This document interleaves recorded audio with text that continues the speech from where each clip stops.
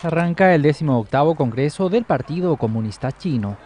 El Palacio del Pueblo de Pekín acoge el encuentro que fue inaugurado por el presidente chino Hu Jintao y reúne a más de 2.000 delegados.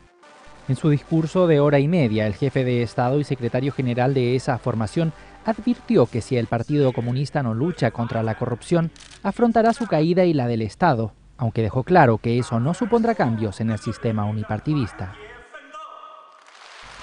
La corrupción es, según las encuestas, la mayor amenaza contra la estabilidad social en el país y ha sido también la cuestión de fondo en los escándalos que han rodeado los preparativos del Congreso.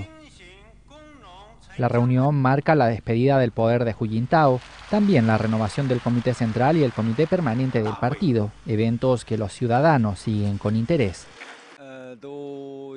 Esperamos que la vida sea mejor en un futuro. A todo el mundo le interesa el discurso de Hu Jintao, nos dice este joven.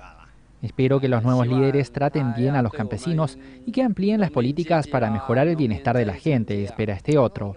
Mientras que esta mujer confía en los nuevos líderes y espera que puedan resolver los problemas reales de la gente. El líder chino también se refirió a los problemas que afronta el país, desde el desequilibrio económico en las ciudades y el medio rural hasta las cuestiones medioambientales. Para ello, fijó el objetivo de duplicar en 2020 el Producto Interior Bruto y la renta per cápita de la población con respecto a 2010.